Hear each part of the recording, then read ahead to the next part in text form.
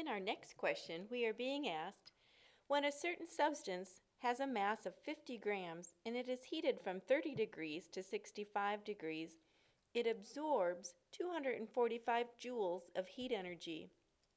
Calculate the specific heat of the substance and then use the following table to give it its identity. When we begin considering the information and the target variable, the number of joules is our Q, again a Q equal mc delta T, where the target now is the specific heat variable, so we can begin to compare it in the, in the standard value table. The joules is 245, that's the Q in our Q equal mc delta T. The mass provided was 50 grams. We target the specific heat. The change in temperature would be the difference between 65 and 30, which is 35 degrees Celsius. Now for algebra, when we hit this, we begin by hitting 245, and we place that over 50 times 35.